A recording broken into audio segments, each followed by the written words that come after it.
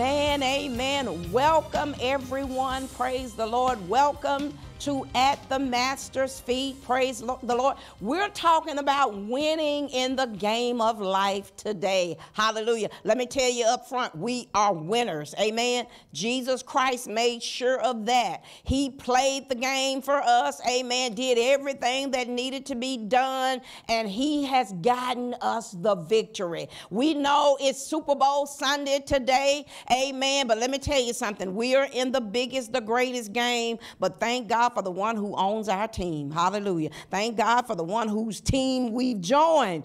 We are winners. Amen. So we're going to look at how to win in the game of life. Amen. I want you to be blessed, and I'm going to see you right after the broadcast. We rejoice in a day that we've never seen before, we've never witnessed before. Hallelujah. Thank you, Lord God. Why wouldn't you serve a person who could make a day? Thank you, Lord God, who formed man, who formed the earth, who formed the waters the, by the palm of his hands. Hallelujah. This is your day, Father. So be glorified in this day, Lord God. Be glorified in this service. This service belongs to you. Hallelujah. God, everything that we do, we want it to be pleasing in your sight. We want you to be pleased with our service, Lord God. We want you to be pleased, Father. That's why we don't come just to have church. We want to always enter into these gates with thanksgiving. We always want to come into, we know it's not the original courts and how the temple was made, but Lord God, this is your house. Hallelujah. This is your sanctuary. So, Father, we honor you in this place. We honor you in this place, Lord God. We honor you as our Father, as the true and living God. We honor you as our Maker. We didn't make ourselves. Hallelujah. So we yield ourselves this morning to the one who made us. My God, hallelujah.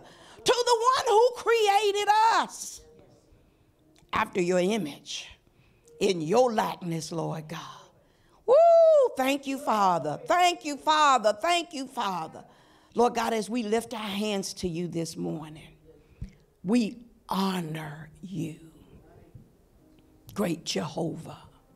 We honor you, King of Kings. We honor you for your spirit today that will move in our midst that will shape our hearts and renew our minds. We honor you for your word in advance that will come forth with clarity and power, Lord God. If you don't do it, it can't be done. I take no credit within myself. I know it's the Lord's doing. I know it's your doing, Lord God. I know it's your power. It's not by my might, it's not by my power, but it's by your spirit. Hallelujah. It is by your spirit. So we yield ourselves to you this morning. Glory, glory, glory. Ooh, there's such a there's such a spirit of thanksgiving. I, I just sense it, hallelujah, that we are grateful.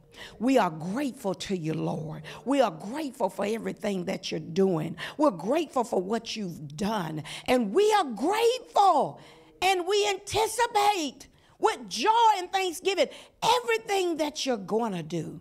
Hallelujah. Thank you, Lord God. Your record is good with us. Hallelujah. Thank you, Jesus.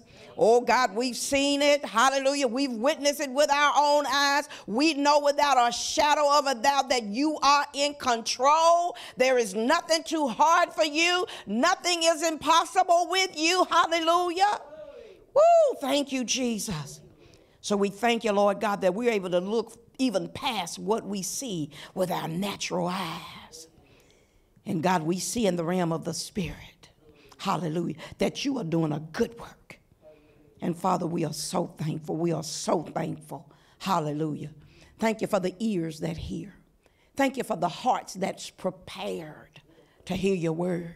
We say that we didn't just come to have church, so we've come to receive of you this morning. Hallelujah. We didn't come to just sit and watch the time go by. But we want to partake from this table that you have spread for us. God, because we're hungry for you. We are desperate for you. Hallelujah. You're the living waters. You are never drying fountain. And Lord God, we just ask you to take full control today.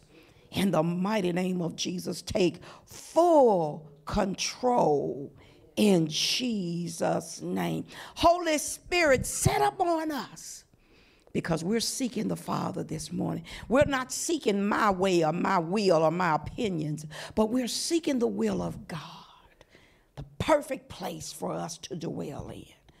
Lord, the perfect seat for us today is in your will. Help us to walk in your will and your way. God, we denounce every crooked path, every path, Lord God, that doesn't lead us unto life. Father, we reject it all now to step into the path of righteousness that you prepared for us. Hallelujah. Woo, glory, glory, glory. Thank you, Father, for your goodness and your mercy. Thank you for your love. Father, thank you for your joy. I can sense your joy here. Sense your presence. Thank you, Father. Woo! Miracles, signs, wonders. We thank you. We anticipate to see the more because it's a miracle for what you've done with some of our lives, Lord God. Woo! It's a miracle. Nothing but a miracle. Nothing but the hand of God. Hallelujah. What you brought some of us out of, oh my God, that's a miracle right there. That's a sign and a wonder. Thank you, Lord God. Some of us have been in stuff we didn't think we'd ever get out. We thought we'd die here. Hallelujah. But you being God, thank you. Woo! You delivered us on time, in time, just in time, at the right time. Glory to your name. Hallelujah. Thank you, Jesus. Ooh, you cannot pay for the presence of God. There's no price tag you can put on what you feel and sense when you come into the house of God. No matter whatever else is going on, no matter whoever else shows up, God, if your presence is not here, then we're just a group of people having a meeting. Hallelujah. But if your presence is here, Ah, glory to God. We know we're in the midst of something good. Oh, and we thank you this morning. We praise you this morning. We love you and appreciate you. Hallelujah. Just like the sister said before I came up, you are our rock and our salvation. Hallelujah. You know, as I was sitting there, and David said, For those who imagine a vain thing, even what they're thinking, Lord God, it can't come to pass. No weapon that's formed against us will be able to prosper. You might think it up, hallelujah, but let me tell you, it's not going anywhere. Hallelujah. Thank you, Jesus. So you may as well start thinking good about me, thinking good. Hallelujah. Thinking about the, the thing, the good things you want to see God do in other people's lives rather than thinking about bad things. Hey, glory, glory, glory. The goodness of the Lord. The goodness of the Lord reigns. Woo, thank you, Jesus. You are our rock and our salvation. Hallelujah. Thank you, Jesus. Oh, I get joy when I think about it. What the Lord has done for me, what He's done for us, y'all. Oh, what every time you think about what God has done. And then you get joy just remembering it. Then you get joy when you occupy in a place of joy. And you can even get joy when you anticipate all of the good thing that God has in store. Can somebody just praise God for that? Thank you. Glory, hallelujah, hallelujah, hallelujah. Praise you, Jesus. Yes, yes, yes, yes.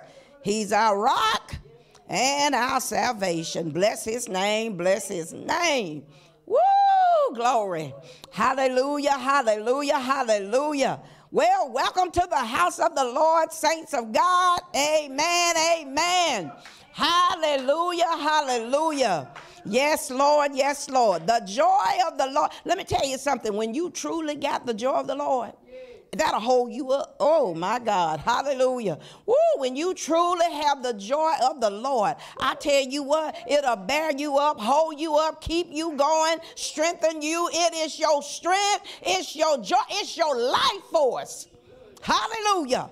Thank you, Lord. So don't ever let the devil take your joy, steal your joy, take something that he did not give to you. Hallelujah. How you gonna take what's mine? Jesus died for this joy. The joy that was set before him. Hallelujah. That's why he endured the cross.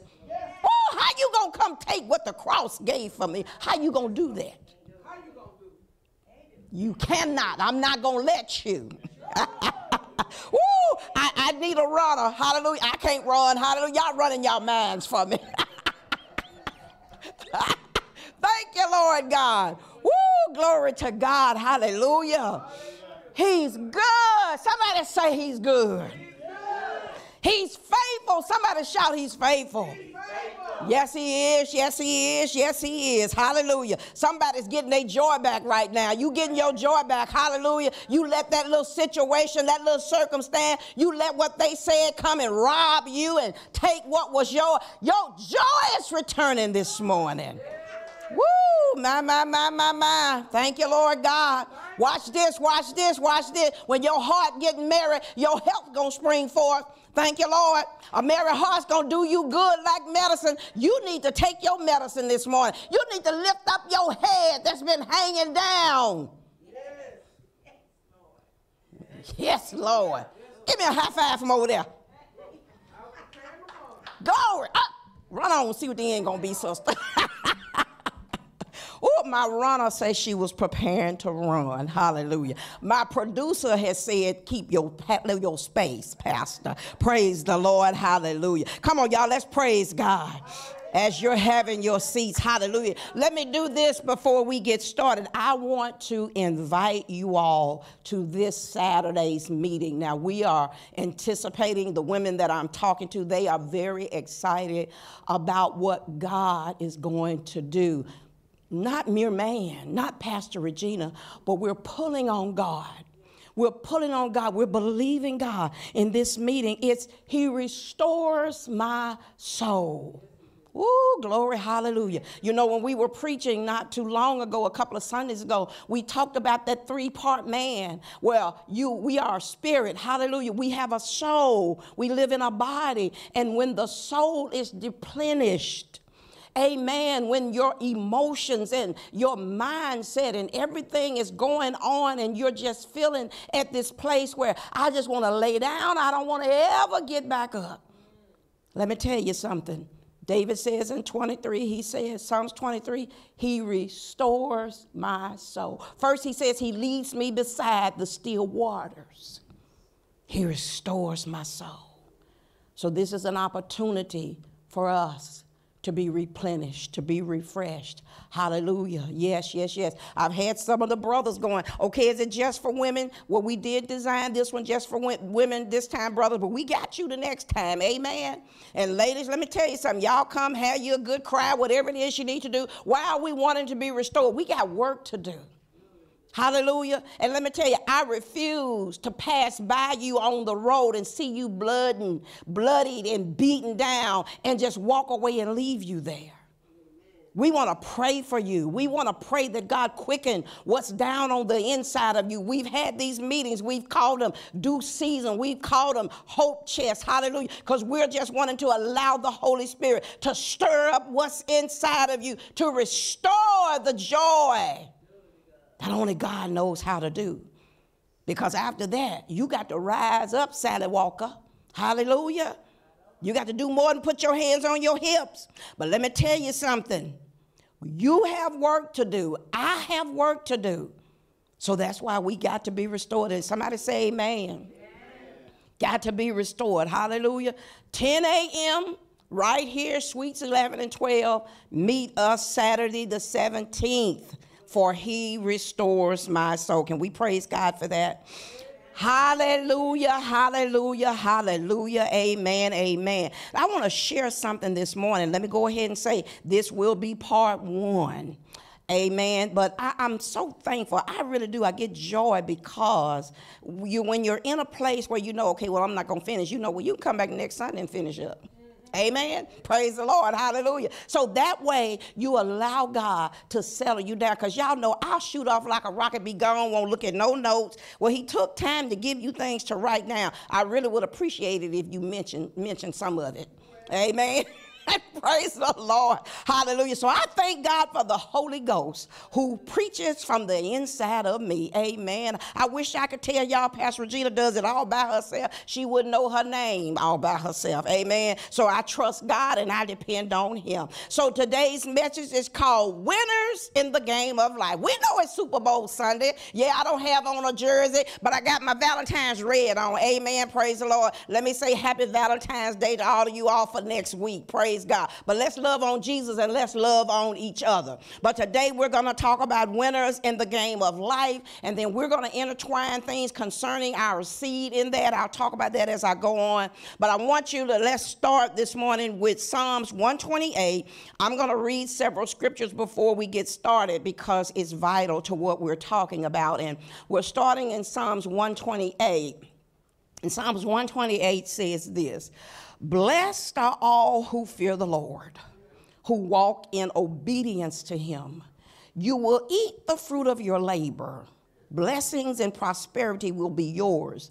Your wife will be like a fruitful vine within your house. Your children will be like olive shoots around your table. Yes, this will be the blessing for the man who fears the Lord. May the Lord bless you out of Zion. May you see the prosperity of Jerusalem all the days of your life. May you live to see your children's children. May you live to see your grandchildren. Peace be on Israel. Amen. And we know in those verses, verses, we're just going to insert our own cities, our own states, amen, and not rejecting the fact that we want the prosperity to remain on Jerusalem and Israel, but we're going to add ourselves as spiritual Israel in these scriptures, amen. Let's move to, ver- to Psalms 112. Now, we're going to come back and we're going to revisit these. I just want to read them for now.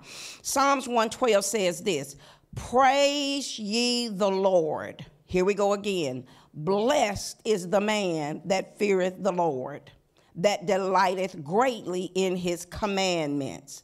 His seed shall be mighty upon the earth. The generation of the upright shall be blessed. Wealth and riches shall be in his house, and his righteousness endureth forever. Until the upright there arises light in darkness. He is gracious and full of compassion and righteousness. This is this man, this woman, these people he's talking about. Verse 5 says, A good man shows favor and lendeth. He will guide his affairs with discretion. Surely he shall not be moved forever.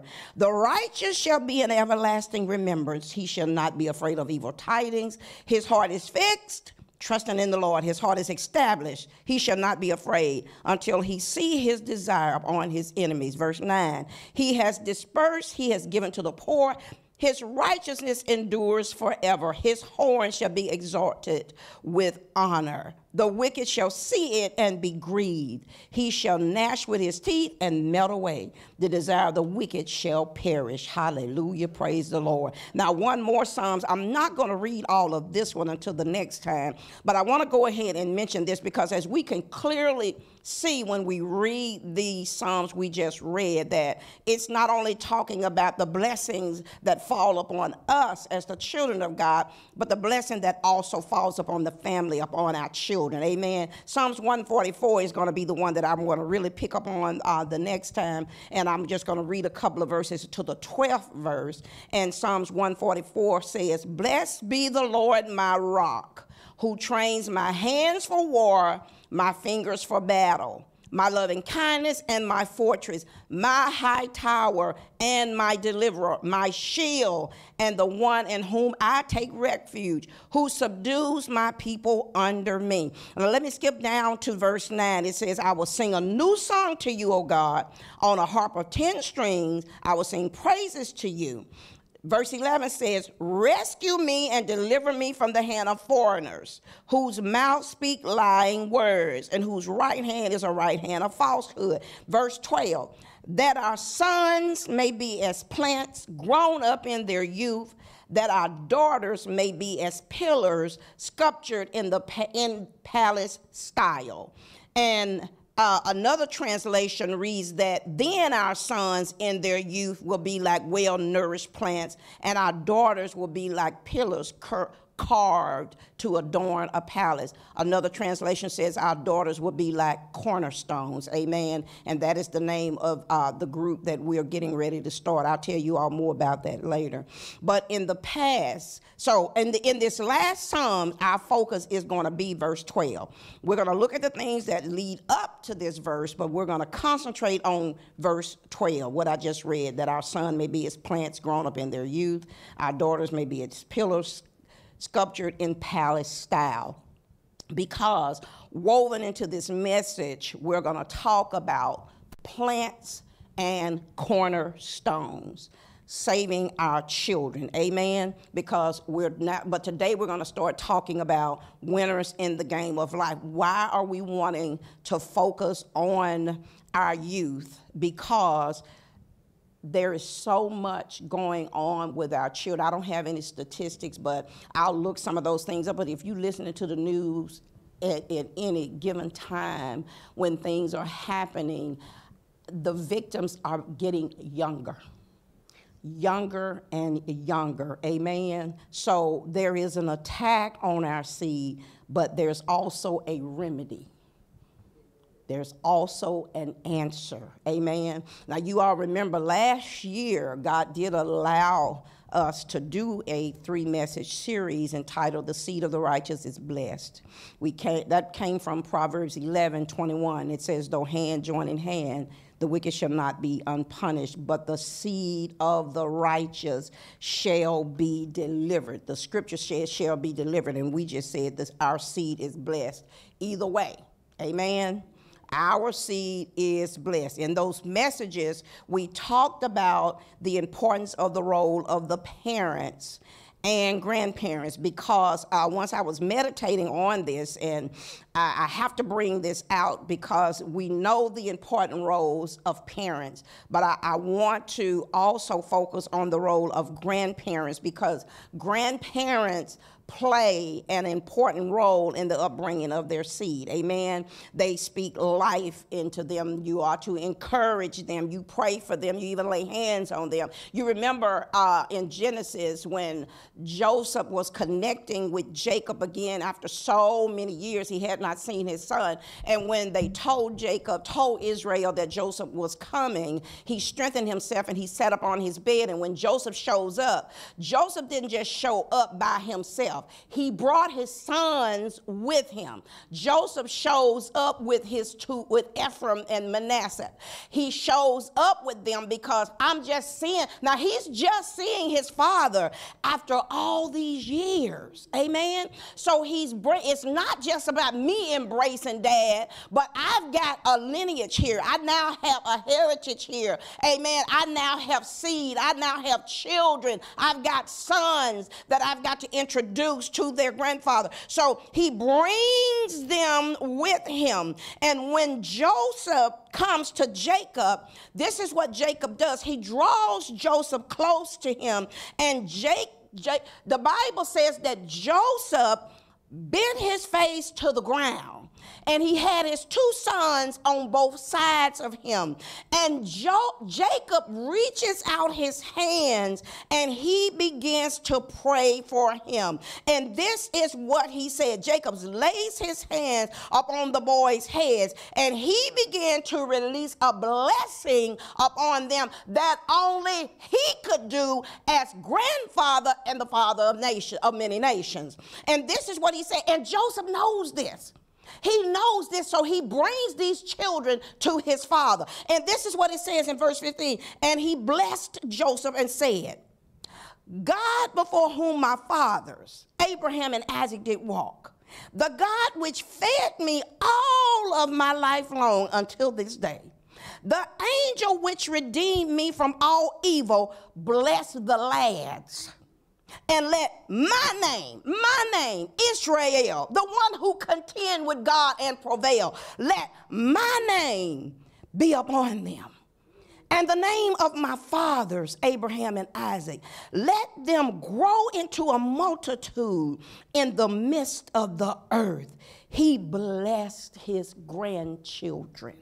Amen. He put his hands upon their heads. You all know the story about how the hand he Joseph wanted to switch the hands, but Jacob, even though he could not see that well, he knew what he was doing. Amen. He knew what blessing to release upon which son. Amen. So when you think about this, when you think about the important roles of grandparents, look at Lois. Look at Lois and how instrumental she was in Timothy's Christian journey and development. That's why Paul mentions their name. You don't get your name mentioned in the Bible unless you've made significant contribution. Amen. They don't just write your name in the Bible all willy nilly. Your name is mentioned for a reason. This woman and her daughter were a power duo not trying to compete with one another. We on a mission. Timothy's foundation has got to be laid, and it's got to be laid properly, and it's up to us to do Amen. it. Praise the Lord. Praise the Lord. I pray you were blessed by that message. We told the story of the woman, the widow of Zarephath. Amen. How she had to stop dying how she had to shift her way of thinking, get a new perspective, and obey the word of God. We began this message talking about blessed, empowered to prosper is the one who fears, not just fears, but also obeys the commandment of the Lord. Remember, if you're willing and obedient, you'll do what? You will eat the good of the land. This woman was not just willing, but she was also obedient. And because of her obedience, she and her child, she and her household was blessed. Amen. You want to know how to be blessed? Listen, fear God reverently fear him and obey his word. And remember this whatever befalls upon you, it falls upon your children also. Amen. And we're just thankful that we win. We thankful that God is on our side. And if we win, our children win also. Amen. So thank you once again for joining us. It's such a privilege to be in your homes. We love you in the Lord. Remember, if you need us, 501 773 1400. You'll get more information after the broadcast. We love you. We'll see you next week at the Master's Feet. Be blessed.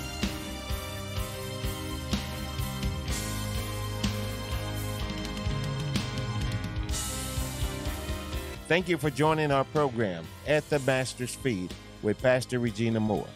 Soul Gathering Ministries is located at 7600 South University Avenue in Little Rock, Arkansas. For more information, call 501 773 1400 or go to soulgatheringministries.org. You may also email us at soulgatheringministries at yahoo.com. Join us next week for another inspiring word from Pastor Regina Moore.